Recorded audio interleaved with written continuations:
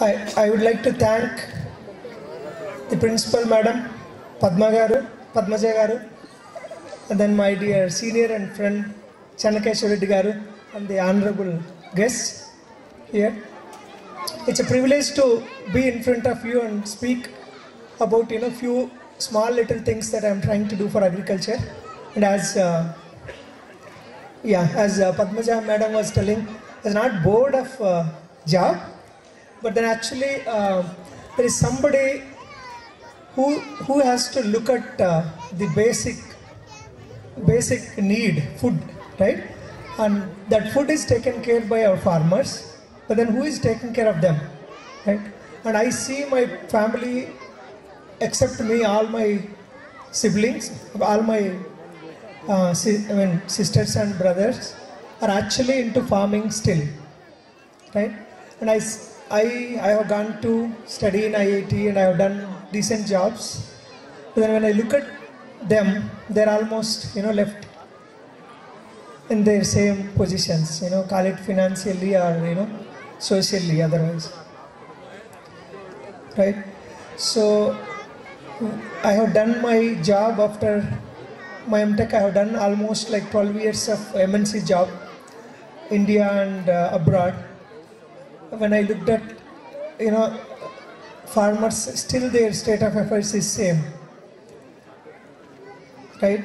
So when I when I really go home, you know, for festivals or any of these events, it, it used to pinch me a lot. Right? There is so much that we have in the towns and cities but there is so you know so much of pain and there are so many problems for these farmers why don't i do something you know for for this community called farmers? Or maybe a, a, different religion called farmers in india there are almost like 60 65% of this country which is equivalent to 75 plus crore people. Actually that is the biggest religion you know if you if you if you call it as a religion. And nobody really is looking at the holistic solutions for the farmers right farmers farmers have several problems. And i always you know uh, quote this as example with my friends. You know we so called IITians or iim uh, graduates start companies and struggle a lot to become successful businessmen right? We need to do a lot of r&d we need to do engineering to produce products. We need to do marketing sales we need to get finance.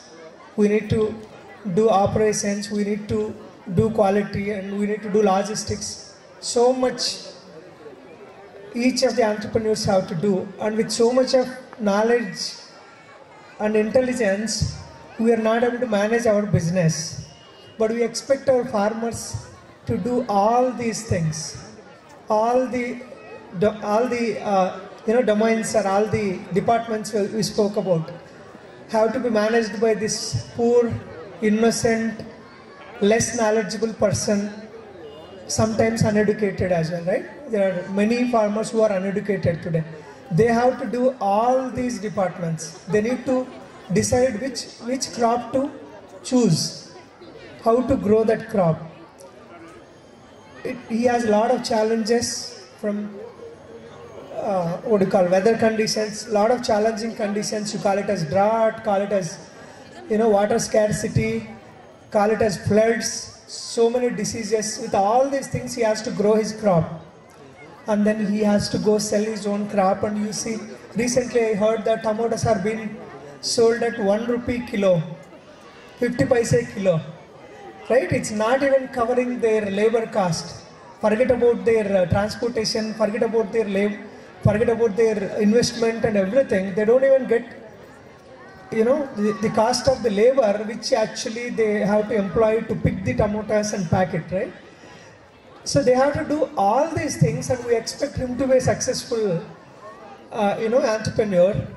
And all of us don't even give a uh, you know sincere thought about it. You know uh, the, the skit these kids have done actually is really moving. You know jai jawan jai kisan even the jawan needs the food to you know to secure us in the borders right so keeping all these things, I said that there is something that I need to I need to decide. I need to choose a domain, right? I returned from America and I was in a you know decently paid job.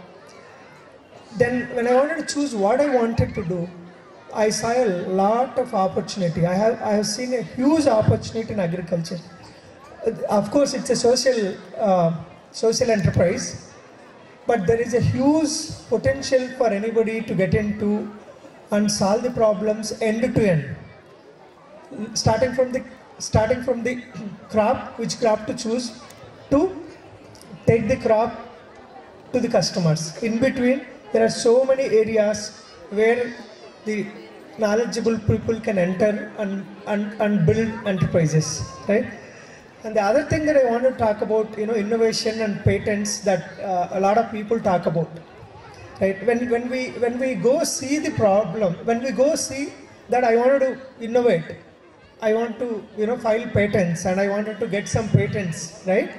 And then you are actually uh, you know uh, what do you call choosing with uh, with uh, solution in such of a problem right? A lot of times there are very good innovations and very good patents which don't really make a lot of sense right? So for me innovation actually comes from choosing the problems right? And if you if you take today the world the whole world is full of problems. You call it water it's a problem.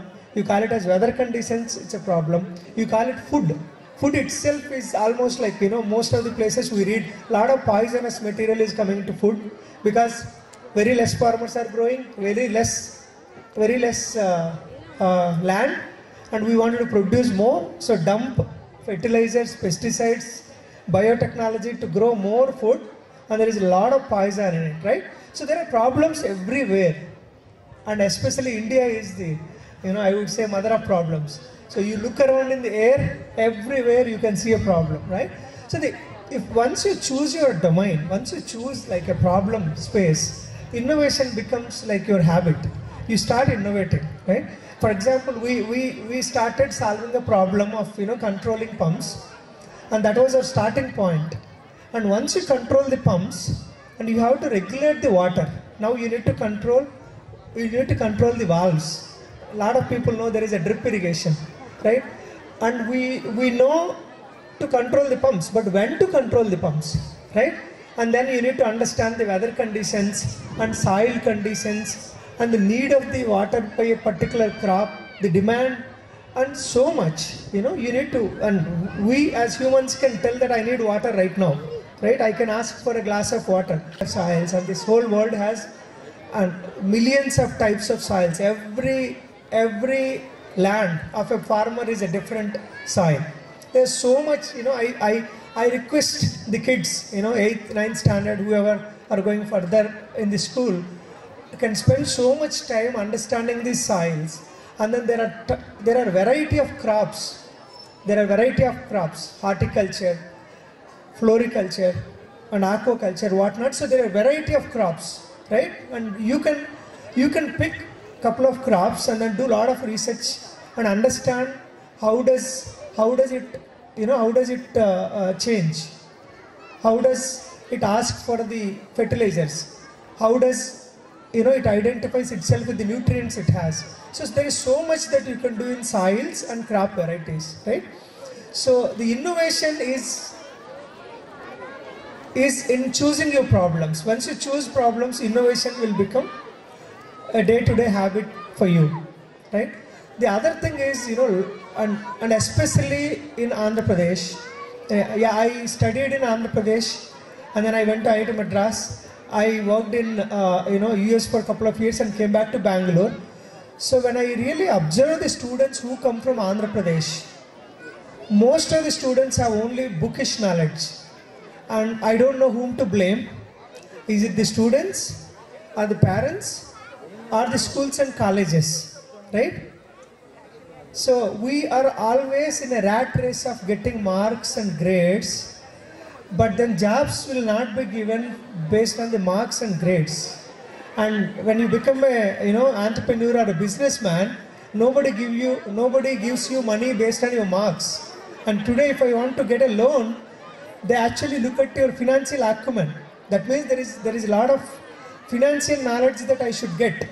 I might be an engineer at uh, studies but but today i need to have every other uh, you know uh, how do i say other experience or qualification right so it's not just about marks, it's not just about grades, and it's not just about engineering and medicine.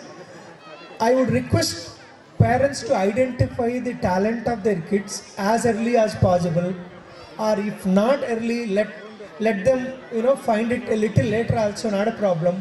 Don't push them for marks. Today I'm running a company. I literally need everybody. I literally need an accountant, an office boy, I need a, a very good mechanical engineer to design an enclosure or a casing. I need a good electrical, electronics, power electronics. I need hydrology background from civil engineering. I need agricultural sciences. I literally need everybody, you know, to run a company, and that that's not my company alone. So there are several streams and several domains that your kids can get into, right? Either take the help of the students or take you know the help of YouTube or you know Khan Academy or anything of that sort. But then identify where your students' talent is. Encourage that, and actually they'll do a wonderful job, right? I always uh, give an example of this movie called Tare Jamin Par, right? Most of them, I would advise all the parents to watch this movie. And one of the songs, uh, uh, you know, during the program was uh, danced by the kids here, uh, right? That's the that's a very good, uh, you know, movie for the parents. Please identify your, you know, talent of your kids. Some of them may not be good at, you know, scoring marks. Some of them might be excellent sportsmen, right?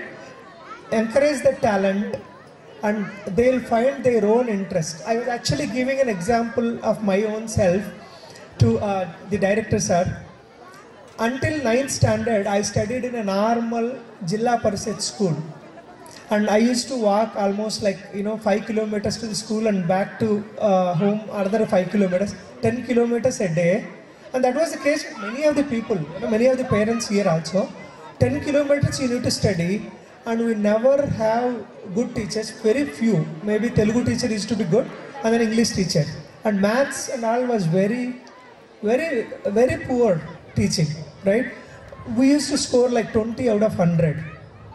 And then we used to stood, we used to uh, stand like first or second or third in the class. Everybody used to clap. I used to go to the teacher, sir, 20 out of 10 is actually called a fail mark and how am I being appreciated? And then he said, that's the best out of the worst. So you please, you know, take it. And then for the 10th class, I was admitted into a decent school like this, where teachers were teaching really well. And then on day one of my, you know, my uh, school, uh, in that in that school, the maths teacher told, you know, whoever scores 100 out of 100, they'll be given, they'll be given intermediate books free, right?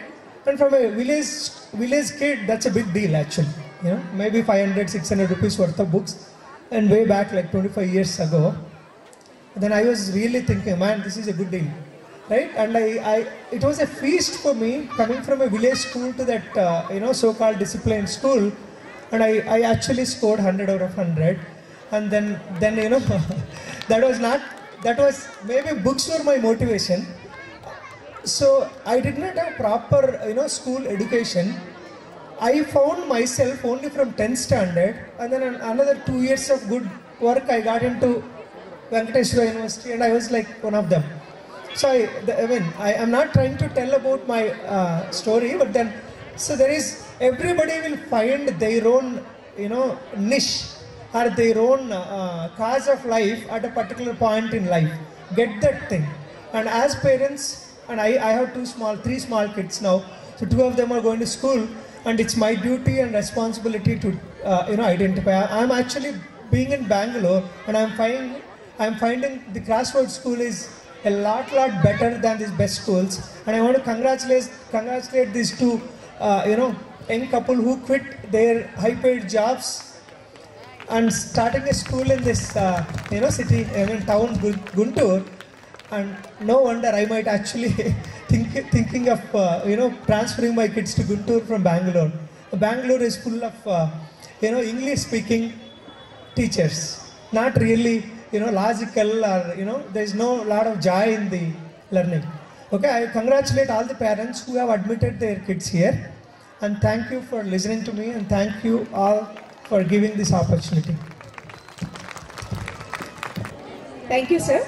I hope uh, few of our students will turn out as innovators after this inspirational speech and also for the parents to encourage their children in the area of their talent. Thank you to give away prizes to the achievers of the academic year 2017 and 18.